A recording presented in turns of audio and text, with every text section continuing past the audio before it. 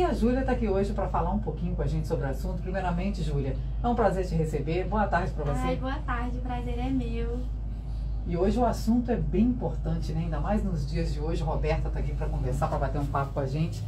Júlia, conta pra gente como é que é esse trabalho. Primeiramente, para apresentar para as uhum. pessoas saberem, né, que você já está aí desde 2022.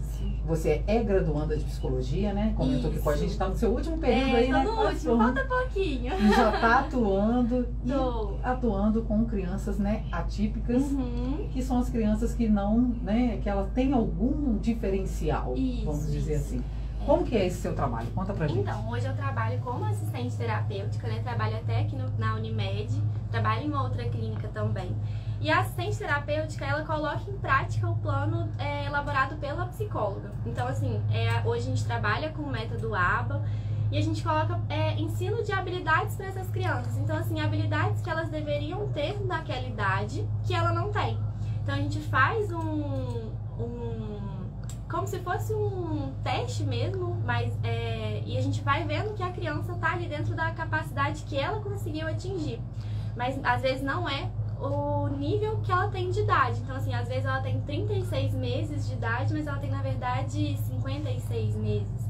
Então, assim, é um atraso significativo em vários aspectos da vida dela, sabe? E a gente tá ali para colocar em prática essas habilidades. Às vezes, um sentar, um contato visual que é muito baixo, um brincar funcional, essas coisas assim. E a importância, a gente está falando muito nesse mês, né, por conta de ser um mês que tá, aborda especificamente né, o autismo, mas que uhum. puxa é. a discussão para todas as é, neuro, né, as, as neurodivergências. neurodivergências. Né?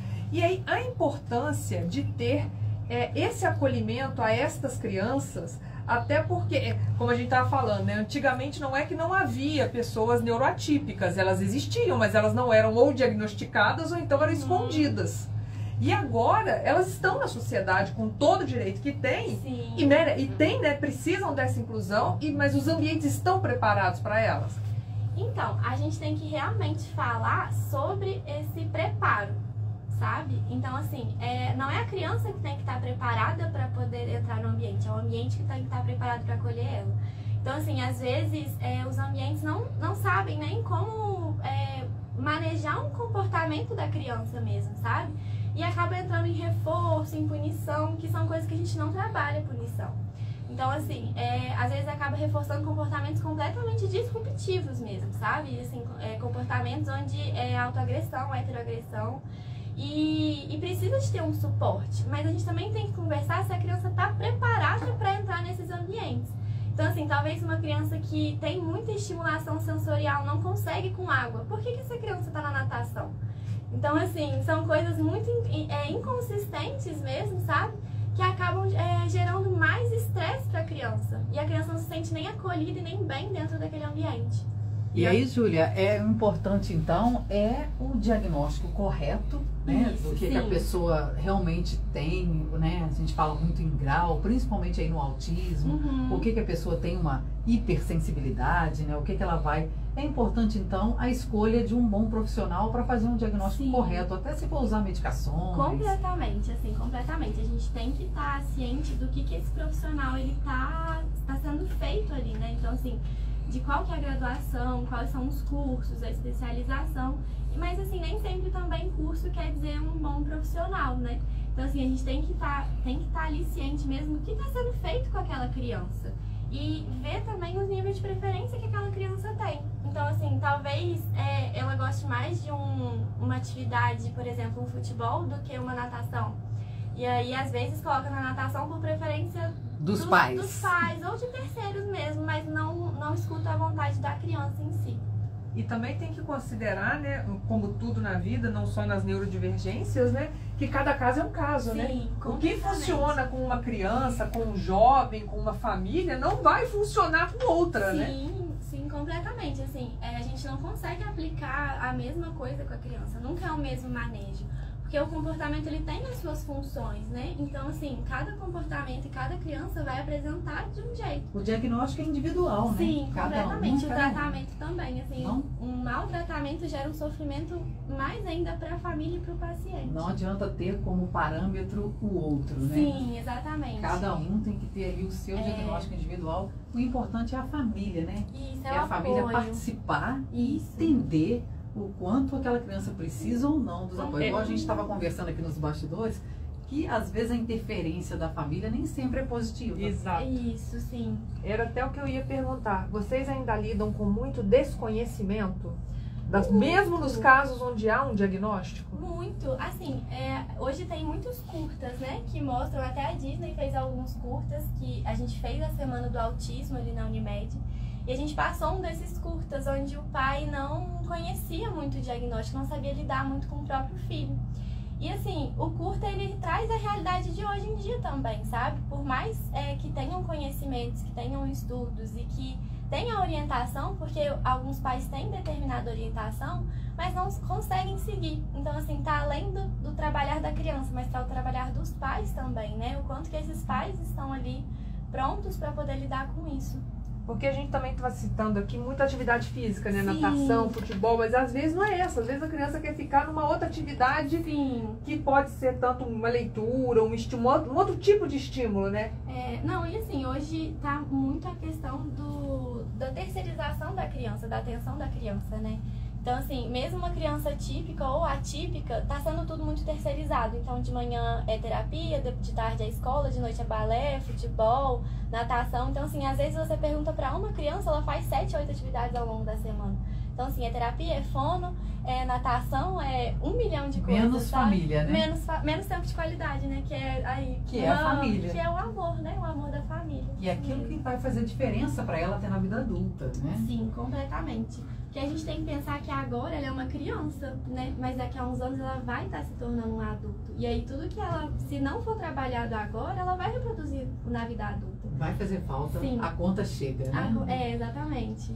A conta chega, é inevitável. Uhum. E é isso. E a então, conta chega para os típicos e para os atípicos. Exatamente. né? Isso, não Assim, tem, é. isso não tem distinção. Não adianta Não. transferir uma responsabilidade que é da família, né? Às vezes Sim. ocupar o espaço, o horário, né? Igual você Uhum. falou de todos, sendo que aquele espaço de qualidade que é com a família, Uhum. tá deixando de lado, né? A gente fala muito sobre as linguagens do amor, né? E as crianças têm a linguagem do amor. E se o tanque do amor delas não estiver cheio, elas vão sentir falta e elas vão ter essas questões assim de comportamento muito para chamar a atenção. Que essa é uma da função do comportamento também, ter a atenção daquele que está presente, né? Do adulto que está ali presente. E durante esse seu tempo aí de trabalho, você pôde ver progressos, Muitos, muitos, muitos. Nossa, isso é a coisa mais gratificante assim que a psicologia proporciona é a evolução dos pacientes, sabe? Então assim, é, hoje eu tô, tô trabalhando como AT tem mais ou menos assim um ano.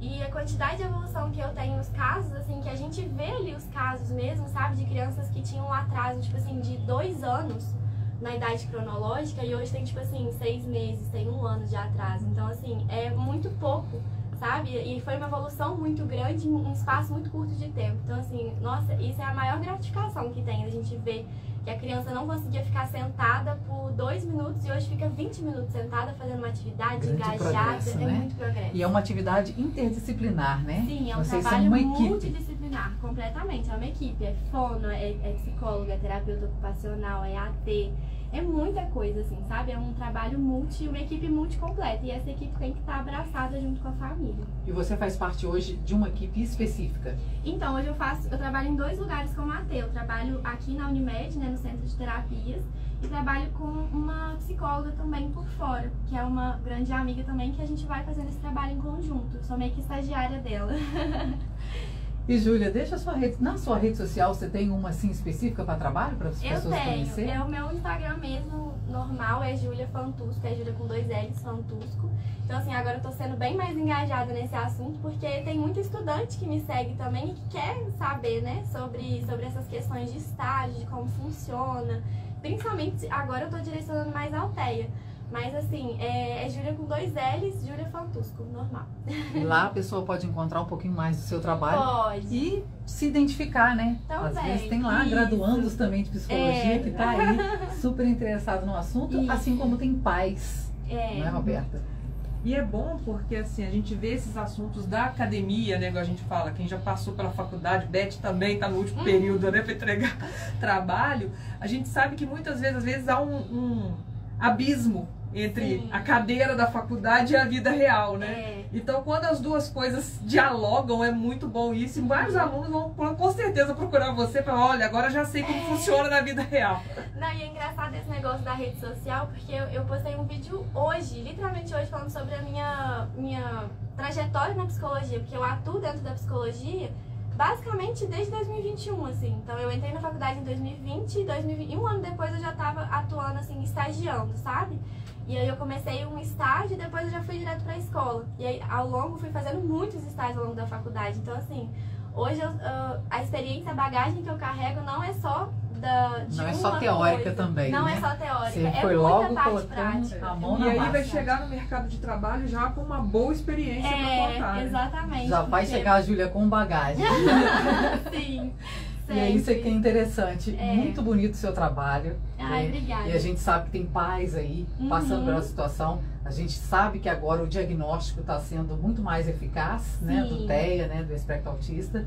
E as pessoas às vezes até falam, ah, mas agora isso é doença atual. Não, É modinha. existia, Agora é modinha. modinha. Não é modinha, é diagnóstico. É, agora é diagnóstico, É. porque as coisas vão se aperfeiçoando. Sim, é natural que as coisa- coisas apareçam mais. É, muita né? coisa mudou, assim, de uns tempos pra cá. Então, assim, o acesso à informação já foi algo diferente. E hoje a gente consegue é, identificar traços autísticos nas crianças com seis meses de vida. Então, assim, antes o que era um diagnóstico tardio, a gente consegue fazer uma intervenção precoce. Pra criança não ter, assim, é, não Dá mais qualidade de vida. dar mais qualidade de vida, exatamente. É Exatamente. isso aí, Júlia. Foi um prazer te receber. Ai, a gente ficaria é aqui meu. falando horas, né? E a gente recebe você de volta em outras Ai, oportunidades, pode, com pode, certeza. pode deixar, só me chamar que eu venho.